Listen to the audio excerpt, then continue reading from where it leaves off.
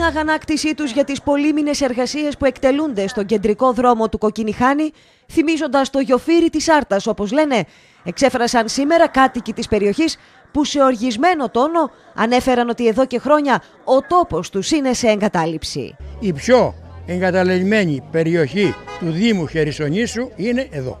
Εγώ τα τελευταία 30 χρόνια διαχρονικά όλοι οι δήμαρχοι και όλοι, όλα τα δημοτικά συμβούλια μας έχουν γράψει κανονικά. Τρίτης κατηγορίας.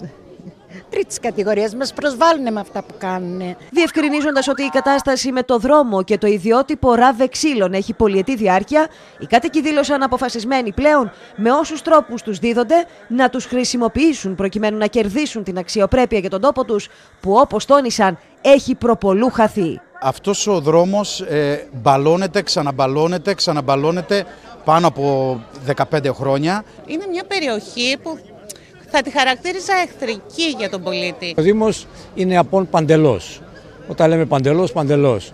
Αυτός ο δρόμος είναι ο κεντρικός και περνάνε οχήματα, βαρέα οχήματα, έτσι. Και δεν είναι ότι περνάνε, είναι παιδιά εδώ είναι τόσο επικίνδυνα που στο τέλος θα εθρενήσουμε για κανένα παιδί, κανένα θύμα γενικά. Και οι γέροι καημένοι που περνάνε έχουν πρόβλημα. Για απουσία οποιασδήποτε υποδομής ανάπτυξης στην περιοχή τους, μίλησαν μόνιμοι κάτοικοι που με παράπονο διευκρίνησαν πως ζουν και δραστηριοποιούνται στον πιο τουριστικό δήμο της χώρας, φιλοξενούν χιλιάδες επισκέπτες και όμως νιώθουν σαν πολίτες τρίτης κατηγορίας αφημένοι στην εγκατάλειψη. Δίνουν υποσχέσεις οι τετραετίες ε, των Δήμων ότι θα γίνει ε, ε, έργο, έργο δεν έχουμε δει.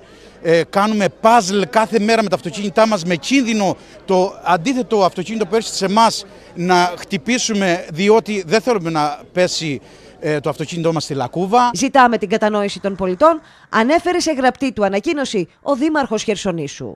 Πρόκειται για οραματικές αναπτυξιακές παρεμβάσεις που απαντούν σε ανάγκες και προβλήματα δεκαετιών που ταλανίζουν τον τόπο.